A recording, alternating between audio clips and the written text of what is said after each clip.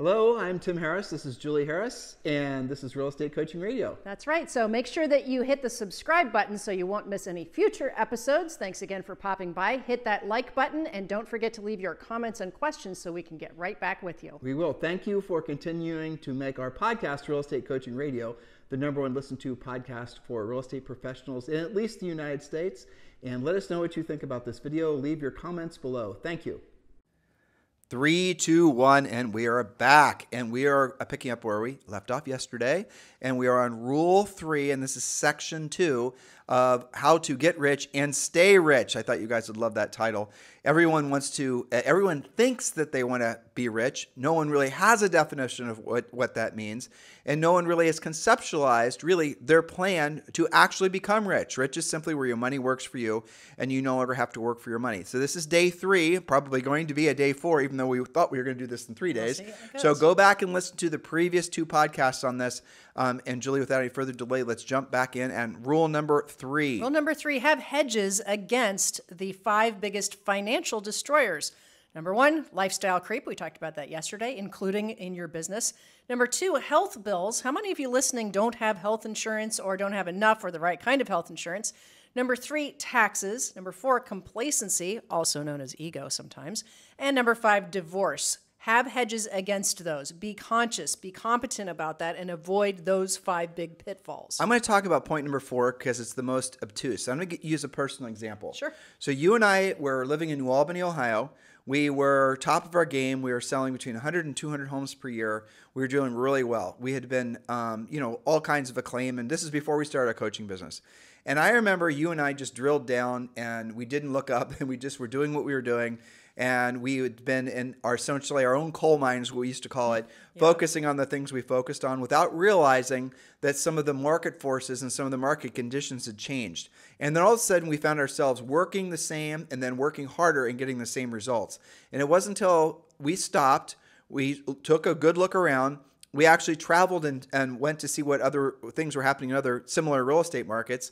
And then we realized that we had allowed complacency to enter into our business and personal lives. And by the way, that was the time where you and I both gained some weight too. Mm-hmm. So it crept in. It's why? all related, right? Right, because we allowed ourselves to think that we'd somehow made it. Thinking you've made it is basically the kiss of death because you never make it. And by the way, complacency in itself is a fake word because you can never be complacent. Even if you think you don't have to work out anymore, or you think you've made it financially, or you think you've got it all figured out, and you're going to be complacent. You're just you you know maybe some of you think your mission in life is to get to the point where you can just you know basically uh, go on autopilot. Here's the unfortunate truth. It might take you 10 years, let's say, or 20 years to build up a certain level of success where you're, you know, rich, where your money's working for you, you no longer work for your money, and then you decide, well, I'm going to go complacent, I've done it, I'm going to the beach. Well, then what's going to happen is if you're not constantly improving yourself, even after you've actually quote unquote made it, you will lose what you have. And you'll lose it faster than you can possibly think. We've seen that happen so many times. Some of you are experiencing that or starting to experience that in your businesses, your personal lives. Please realize what we're telling you is the truth. You don't have to have these big ups and downs in your life. You don't have to have ups and downs with your health with your relationships, with your business success, with your wealth creation. So do what it takes to wake up. And I'll tell you what works for Julie and I a little good old fashioned fear. right? So here's a little uh, interesting motivational stuff. Everyone thinks, you know, so I'm asking Bob now, Bob, what are you motivated by? You know, the carrot or the stick? Bob's going to tell me he's always motivated by the carrot. Bob's going to say he loves to accomplish goals, he loves all these other things, and to which I'm going to tell Bob with love and respect that he's lying to himself and lying to me. Because the reality of it is is none of us are truly wired to move towards a goal. All of us are wired. If you really want to motivate yourself, here's what you do. You if you have fear of losing what you already have, you will be more motivated than you can possibly believe. And so you have if you can manifest that versus actually having it happen, you will become somebody uh-huh. that has this omnipresent sense of motivation. So the hack for yourself is to never allow yourself to become complacent. Always tell yourself that you could lose what you have, and that will motivate you far more than trying to move towards the accomplishment of a goal. Yes, and by the way, listeners, that can ha- that can happen and does happen at any level, even when you're making a lot of money consistently. I'll give you a quick example. I just had that very conversation yesterday with somebody running a big team. He had noticed that one of his listing partners, who was very successful, had stopped. Ha, uh, typically, he'd list about four properties per week, which is great by any measure, right? But he'd been falling back to maybe one or two or zero listings per week. Well, what was up with that? And I asked some questions. Well, as it turns out, this listing partner has no debt, has a VRBO, which is uh, making them some money, has some other investments. Uh, wife just uh, graduated and got a really kick-ass job making about 125000 a year so they're pretty comfortable right and they live in a great neighborhood but so what's going to happen? So the conversation was one of two things are going to happen exactly the carrot or the stick conversation. And everybody says, well, I'm going to go through, towards that carrot. So maybe another round of goal setting, thinking bigger, working on that, a new treasure map. That may be the catalyst because this person we're talking about is pretty smart. They could be. Or something's going to have to happen to recreate that scarcity, the stick, in order for him to feel remotivated. So some suggestions for that would be to find, you know, we could do goal setting, but to make him feel like he's uh, got a little scarcity, maybe he's going to prepay his taxes. Maybe he's going to prepay his kids' school tuition to, you know, lower the bank account without making him broke to reignite that motivation. Yeah, that's it, guys. It's the fear of losing what you already have. I, I am compelled to tell the story of Minot. I told them that story yeah. yesterday. All right, yeah. so I had this great coaching client, and he's Monet. Monet, sorry, yes, Monet. And I'll, the story I'm telling you, he told me this was before I started coaching, him, so I just want to put that disclaimer out there. So evidently, Monet was like super fat, and you know, uh, fat to the point, and he'd been fat so long that his weight had become a massive health problem, diabetes, the whole thing he'd go to the doctor when he had this problem or that, and the doctor would say, Well, you know, Monet, if you don't lose your weight, your diabetes is going to cause you to essentially develop, I think it's gangrene in your appendages, mm-hmm. and we're going to have to start cutting off your feet and your legs and the rest of it. And horribleness, right? And so Monet, well, whatever, doctor, whatever, I'm just going to be fine. And then he'd, you know, leave the doctor's office and come back when he developed some other problem. Because when you're overweight, you obviously have a lot of other associated health problems. And he was evidently you know, morbidly obese. This is him telling me this story.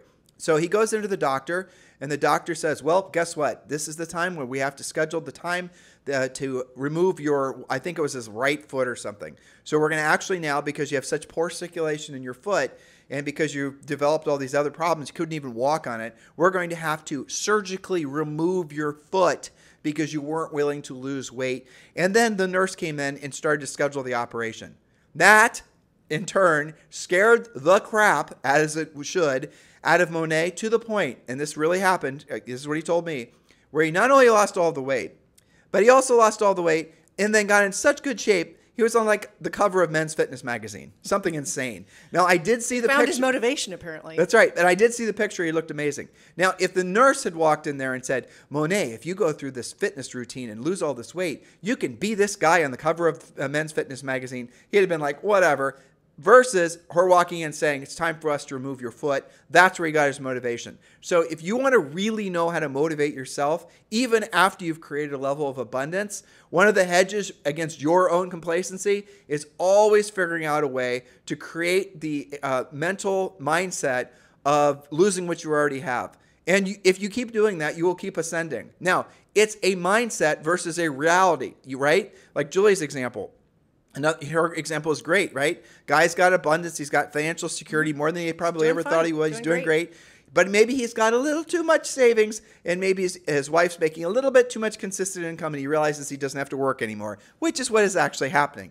So, what he would, and Julie said it right, take that uh, money he's got saved, all but maybe six months of savings or maybe 90 days of savings, and then buy in a rental property. Invest that into something that he can't borrow against. Maybe put in the S&P 500 or something, mm-hmm. that kind of thing. That is going to remotivate him because then he's going to be fearful of losing what he already has. That right there is the ultimate motivation hack. Rule number five. Rule number four invest like Warren Buffett. Don't invest in anything you don't understand. So invest monthly and don't overthink. Vanguard index funds are your friend and consuming financial content uh, by your favorite quotes, uh, Warren Buffett and Charlie Munger. So this point kind of ties into the previous point. I suspect that one of the reasons that our examples had fallen, once you've got some financial abundance and your debt's paid off and all these things, I think many times it's because they've run out of their financial education. Like rental property. Check, got one of those. Well, VRBO got that. So now what? What about this investing business? You have to educate yourself. here's what happens is you will start accumulating money you'll start having a predictable duplicatable income from your real estate business and then because you think that you have to then you're going to make a huge mistake which is you're going to take too many risks with the money that you have now worked so damn hard to have set aside so you can start reinvesting it. And that's where a lot of people make dumb mistakes. They start looking for get rich quick schemes. So maybe they've uh, you know removed the get rich quick and the shiny object syndrome from their business but it still is inside of them. They're still looking for shortcuts and hacks. And so what they do is they invest in things they don't understand. We get inv- invited to invest in different hedge funds and things on a fairly regular basis. And I have to remind myself to always lean back into what Warren Buffett and Charlie Munger say. Uh, If I don't understand it, and I'm not the smartest guy on the planet, that's for sure. But if I can't understand what the hell you're trying to save, uh, sell to me, I'm not going to invest in it. We did not buy any crypto. We did not buy any NFTs. We did not buy any of that. We have lots of friends that did. And had we, you know, bought at the right time, we would have done really well at it. But we didn't understand it. We do understand it, you know, intellectually. Conceptually, sure. Conceptually. But all we saw was was a gamble. That's not an investment. It was a gamble. Too speculative. Right. Whereas you do what Warren Buffett and Charlie Munger say. And by the way, some of the wealthiest people in the world, Vanguard index funds are your friend. And here's a little uh, go and Google, because some of you absolutely positively need to do this to protect yourself from yourself, right? You have no software in your head that is uh, created for you to build wealth. It's just the opposite. You're designed to essentially have enough money coming in for the next 60 to 90 days. You're not designed to build long term wealth. That's something that you either are born with or you learn, generally speaking, from your family. So I'm going to assume none of you were born with it or none of you have learned from your families. Teach yourselves. But here's the thing that Julie and I learned a long time ago we don't trust ourselves. No. We don't. We don't trust ourselves when it comes to our ability to choose a winner from a loser. So we do what Warren Buffett and Charlie Munger tell us to do, and that is going to be Vanguard index funds. Google um, uh, Bogleheads, Bogleheads, B O G L E. Bogleheads three fund portfolio. Just Google Bogleheads three fund portfolio. Enough about that. Rule number five. Rule number five your goal should be to have five non interdependent sources of passive income that cover your monthly personal overhead. Not just one, not just two. Something could happen to those. Let's drill down on that. So, and you guys know, you're longtime listeners, and you've read our book, and you're coaching clients, that we want you to have, uh, you know, spokes in your wheel, and we want you to have five to seven predictable spokes that are not dependent on each other. What does that mean? A, for example, in your business, or let's just say, focus on rule number five. If your only sources of income are derived from a real estate transaction that you or your team are having to do and you rationalize, well, I'm making a little bit from mortgage, I'm making a little bit from the commission, I'm making a little bit from a home warranty, I'm making a processing fee, whatever. You've rationalized that those are different sources of income. They're not. They're all one source of income. It's from a real estate transaction. And it happens once. Then you have to go do it all over again. Exactly. Remember, rich is where your money works for you. You no longer work for your money. And your ultimate goal is to whatever your monthly overhead is.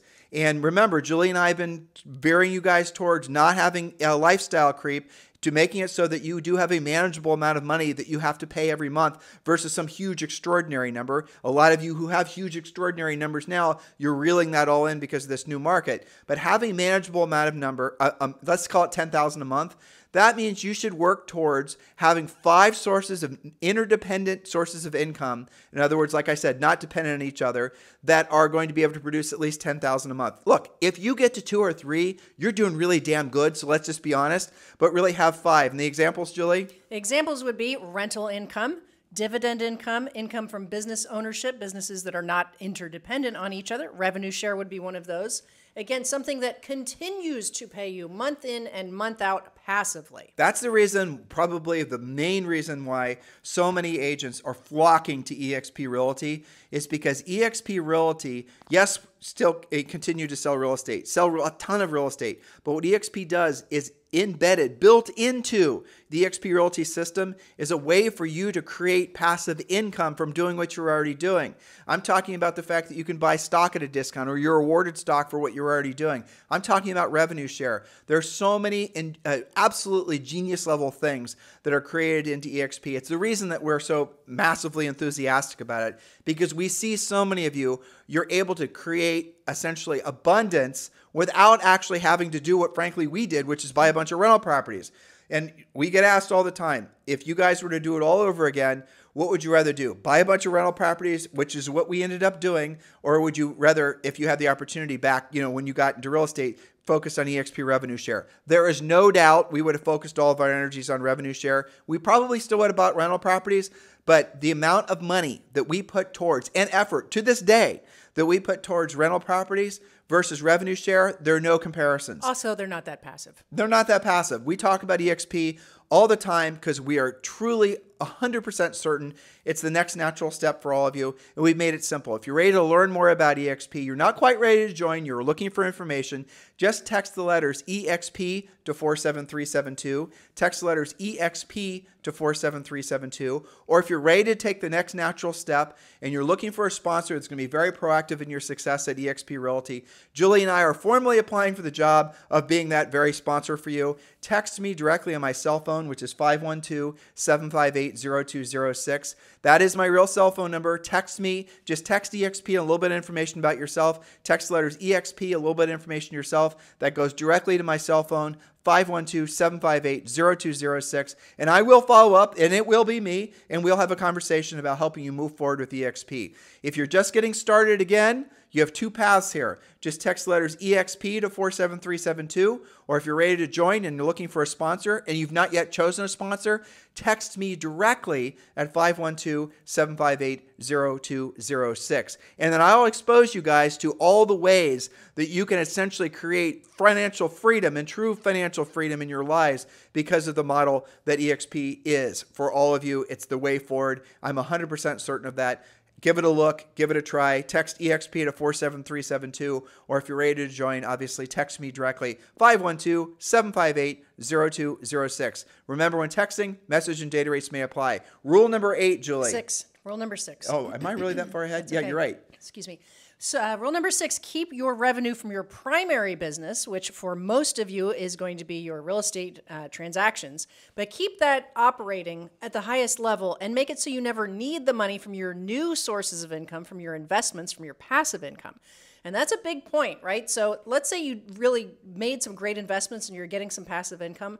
Don't make that replace what got you there in the first place. This is in addition to, not instead of your your primary business. So that's part of the machine. The machine is you're still going to transact. You're still going to sell real estate. But the money that's coming from your passive investments or your revenue share from EXP or your dividends or your stocks or whatever it is, that money then isn't spent on lifestyle or business. That money's then reinvested. That's how you compound wealth at a exponential rate that you can frankly it'll change your lives. And it's not that difficult to do.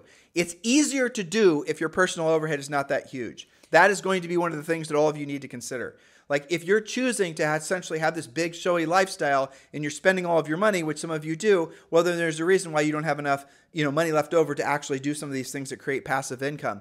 I will ask you this one question. If you're 35 or 25 or even 45 and you're not producing enough profit in your business to act or even net income that's producing because you're spending it all, you got to ask yourself, it, 10 years from now into the future, the 10 years you're having that conversation with that 10 year older version of you or 20 year older version of you, you know as well as I do, if you ask that, you know, older version of you, what is the one thing that I should have been doing now that I didn't? I promise you, you're going to tell you that you should have been listening to our previous points about creating passive income. Because the older you get, the harder it is to stay on that hamster wheel, not because physically you're unable, because mentally and emotionally you are seeing the you're essentially on the second half of your life and you're now realizing you're spending a lot of it uh, as having to keep, stay on that hamster wheel. I appreciate the fact that a lot of you love it and you enjoy it. Well, love it and enjoy it, keep doing it, but from the passive income that you've created from investing your profit,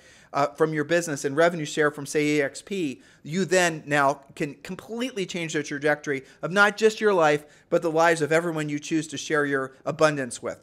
That's right. So your new passive sources of income are supposed to be producing income that is then again reinvested. Your money is literally working for you. You guys get it? Your rich is where your money works for you. You no longer have to work for your money. That's right. Rule number seven monitor your machine. Make adjustments when needed. Know that you can never be truly passive with your machine. It's okay to delegate, but don't abdicate. Tim, what's the difference between delegating and abdicating? Well, I mean, this is again something you and I learned. I remember our first year in real estate, and this is when we were kids, and this was back in the 90s. We earned over $300,000. dollars mm-hmm. And that was a lot of money then, and it's a lot of money now, and it was a hell of a lot of money to young Tim and Julie. Yeah. And I remember the first year we owed a crap ton of taxes, and we hadn't saved for it. No one told us about that.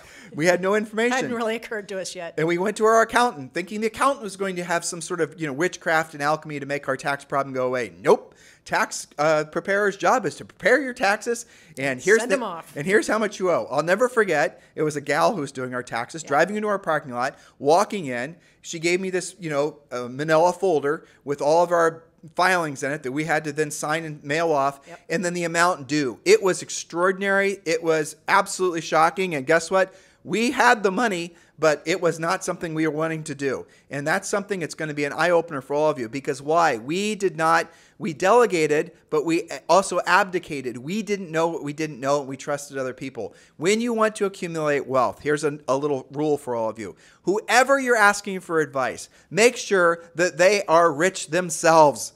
Don't follow or take advice from people who are not better off financially than you. Not just a little better off, but a lot better off. Those people are out there. You're going to have to pay more, but it's completely worth it. Ask for referrals from other people that are where you want to be. Again, not just the next level in your life, but 10 levels up. Ask them who they use for their wealth planning.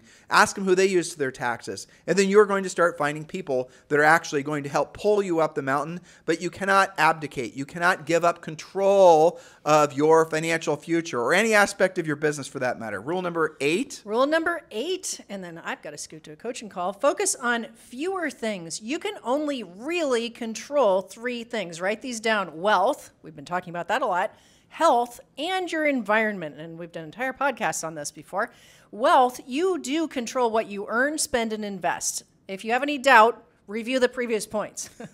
okay, health. You can control what goes into your body and what you do with your body. Now, I want to say something about this because people will say, well, you know, I can't totally control it because I inherited this or that, or I'm genetically defective here or there. Okay. Well, that has been proven to be reprogrammable with epigenetics, that you can turn your genes on or off depending on your behavior. Okay. So, yes, all of that may be true, but your lifestyle, your fitness level, what you do with your body, what you're eating, your nutrition can change that trajectory, can't it? For you, those of you who want to get control of your health, we're going to give you a quick bunch of keywords. Write these down. Number one, men and ladies for that for that you know matter, do uh, look into hormone replacement therapy (HRT). We're not doctors, we're not physicians, we're not nurses. We're just saying, look into it. Look into it. Look into HRT. Find a, a legitimate HRT clinic. Your GP is not going to be an expert on this, so go to somebody that is, and you will learn that oftentimes one of the things that happens, well, one of the most, I think, you know, things that people just take for granted is as they age, as they get older, your body's hormones start to deplete. They start your your chemistry changes. You can get those back into healthy ranges, and then guess what happens? You actually want to exercise. Your body doesn't gain the same amount of, of you know body weight. You actually can essentially reverse the effects of aging with hormonal uh, re- hormone replacement therapy. Number two, you can control again what Julie was saying in regards to what you eat. Julie and I have been low carb for I don't know how long, 20 Years. years? Yeah. Yeah. We were low carb. We got fat twice. and the second time we decided we weren't going to get fat again. So we'd been low carb for at least a decade, probably more like 15 years. And that totally works for us. So here's a little secret for all of you getting your health in uh, alignment, actually getting your body to the point where you're proud of it, is not that difficult. It all goes to the third point, which Julie said, which is your environment. That's your physical environment, that's your mental environment. That does include things like what you read, what you listen to, the websites you go to. Your environment is the most important thing. And frankly, it's the hardest thing to control because you could be finding yourself in a, frankly, a real estate office where everyone's negative and everyone's overweight. And you walk in there, and let's just stay on the weight thing. You are walk in there, everyone's, let's say, everyone says they're 20 pounds overweight. When you say you're 20 pounds overweight, you're probably more like 30 or 35 pounds overweight. Remember, we were fat. We used to say 20 pounds and it was really So 30. we can say that. We could say that, right. So you walk into your office where everyone's, you know, 30 pounds overweight and you say, I'm going to lose weight. Do you think those people are going to reinforce you getting skinny? No, they're going to say you look great. Don't You worry look about great. What are you talking about? Maybe you just need to buy a higher size. You wear it well. exactly. Jumbo, jumbo, you triple. just have what's the other one? You have a large body uh, profile or whatever. You know Big where they tell you, bones. yeah, big bones. Exactly. You guys get the point. So that's your environment. Be omnipresent of omni omnipresently aware of all the things you're allowing into your brain. You could have the strongest Tony Robbins level mindset and you could be walking on the world and then all of a sudden you trip over some bad news or you ha- read a bad headline or somebody starts with, "Hey, Bob, did you hear about the tragedy that just happened in here or there or the other thing?" And the next thing you know, you're finding yourself thinking about horrible things. Control your environment. Focus on fewer things. Let fewer people have influence on you. Be highly selective on what you expose yourself to. One of the things that Julie and I did years ago, and all of our top coaching clients do this as well be media free in the sense that completely and totally remove from your life mainstream media. It's all propaganda. That's the reason, by the way, podcasts have become so popular. Podcasts are the fastest form of uh, digital media because people are finding that they can get the drill down specialized information they want from podcasts that they can't get anymore from the media because the media is all biased. You know, they're essentially giving you what you want to read and hear, and none of it's good for your mindset. Here's the ultimate litmus test to know whether or not you are actually in the environment that you need to be in.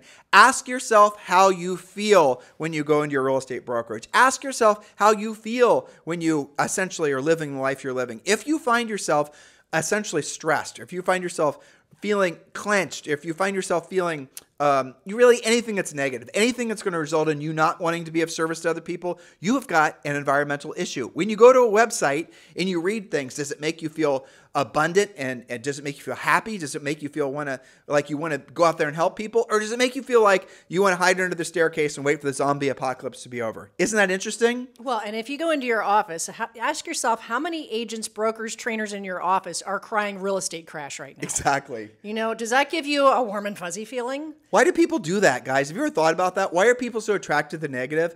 We have a theory. You know what the theory is? Here it is. Because they want to be complacent. Because if you don't believe that tomorrow is going to be better than today, if you don't believe that, for example, your best years are still ahead of you, if you don't believe that you can be incredibly successful because of this real estate market, you're going to do things to make that true. So if you're finding yourself reading and listening to people that say the doom days of real estate sales are here, or whatever you know people are saying, you find yourself reading those bullshit headlines, it's because you're looking for reasons not to do what you don't want to do when you don't want to do it at the highest level. You want to believe that what's the point of me making the effort? Actually, obviously, tomorrow is going to be worse than today. By the way, tomorrow is never worse than today. We are on a long uh, essentially, if you look at humanity, if you look at especially the last maybe 500 years, everything has gotten better at enormous rates, and the rate of change of improvement is even increasing. Welcome AI. Welcome AI's advancements with healthcare. Welcome some the other things that we're experiencing.